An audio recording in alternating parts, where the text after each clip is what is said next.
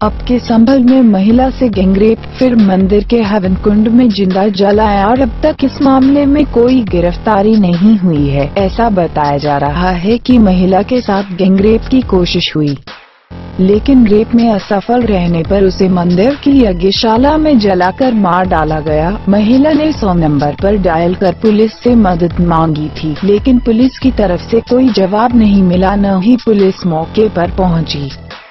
घटना शनिवार रविवार की रात करीब दो दशमलव तीन शून्य बजे घटी बताई जा रही है। हालाँकि इस बीच पुलिस या पीड़िता का चचेरा भाई मदद के लिए कुछ कर पाता, बदमाश फिर से घर में दाखिल हुए और महिला को घसीटते हुए मंदिर में ले गए।